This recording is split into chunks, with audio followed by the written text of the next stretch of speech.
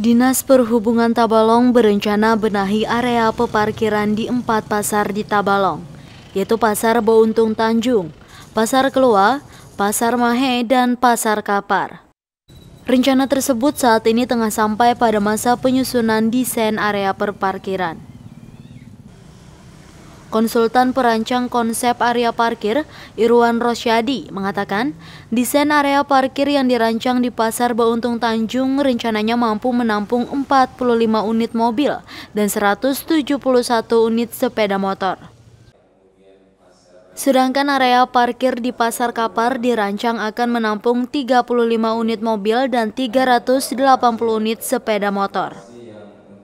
Ada empat yang kita desain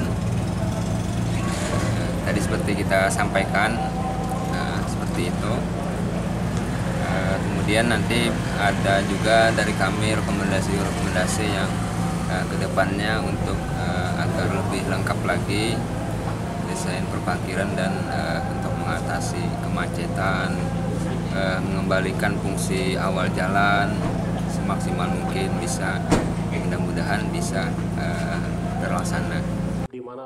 Dinas Perhubungan Tabalong belum memastikan tahun pembenahan area peparkiran tersebut. Rancangan yang telah dijelaskan oleh konsultan parkir terlebih dahulu diuji kelayakannya untuk menentukan jumlah anggaran. Jika memungkinkan, anggaran pembangunan parkir tersebut akan dimasukkan ke APBD. Otomatis Pak, dengan pengelolaan parkir ini Pak akan menambah PAD dari retribusi parkirnya ya Pak nanti? Ya, jelas kalau menambah retribusi jelas karena kalau nanti kita bikin gedung itu kita tidak lagi pihak ketiga tetapi langsung kita yang apa namanya melakukan kegiatan di sana Suwardi menambahkan, pembenahan area peparkiran untuk meningkatkan pelayanan parkir agar nyaman dan tertib. Di samping itu, rencana ini juga diperkirakan dapat mengoptimalkan pendapatan asli daerah yang bersumber dari retribusi parkir. Ruliandi Rahman, TV Tabalong melaporkan.